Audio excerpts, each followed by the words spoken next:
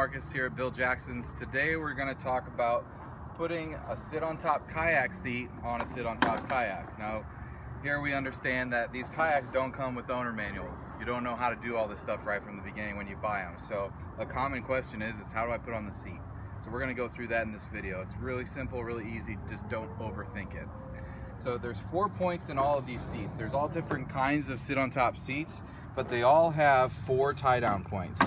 You know, you have a strap here that you tighten down on the top and the back, one on the bottom of the back, and then two on each side of the seat, okay? The way that you need to understand this is that the two on the side go forward, and the two on the back, the two clips on the back, go backward, okay? So you start by unstrapping, not all the way, but loosening everything up in the back. Usually the side ones are plenty loosened up.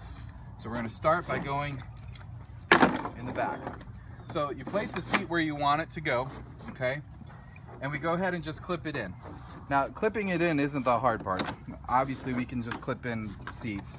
The hard part and the, the confusing part is actually getting it solidly tied in without having it slip slide all over the place. Okay, and I'm gonna go through and explain how to do this. There's a certain step process that you do this with, okay? So we're gonna start by putting the seat and holding it with our hand at the bottom and we're gonna go ahead and, and pull these straps right here. So um, the way that we can do this is you, hood, you put your seat down with your hand and you pull the bottom strap tight on one side and the bottom strap tight on the other side and you pull pull up against the buckle okay what this does is it keeps our seat from pulling out. So if you lean back, the whole seat doesn't go forward, okay? So we get that to where we want it. It's not moving. Then we do the top and the back. Keep your hand on the seat and just snug it down. You don't have to pull it crazy tight. This is giving you like a form on the back of your seat. All right, this is gonna help you cup, cup your back so you're not uh, feeling like you're rolling to one side or the other, okay? And then this adjustment after you clip these in is whenever you actually sit down in the seat. So we're gonna do that right now. I got one right here all set up and ready to go. So once you sit down in your kayak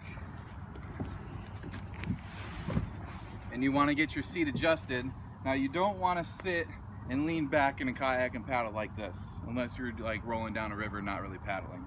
You kinda wanna sit up straight with your knees slightly bent and you want your backrest to actually help you do that. So the way we do that is we pull these straps, we lean forward first, and we pull these straps tight on each side, and it keeps you nice and upright and gives you back support. If you want to loosen it up, if you're a little too too far forward, it's got these tabs right here. You pull, you lean forward and you pull the, the tab back, and it loosens it all up, okay? So lean forward, pull tight, lean forward, pull back. That's all it is. It's pretty simple and straightforward. It doesn't have to be too hard. Just follow this tutorial and you'll be okay. You have a good rest of your day.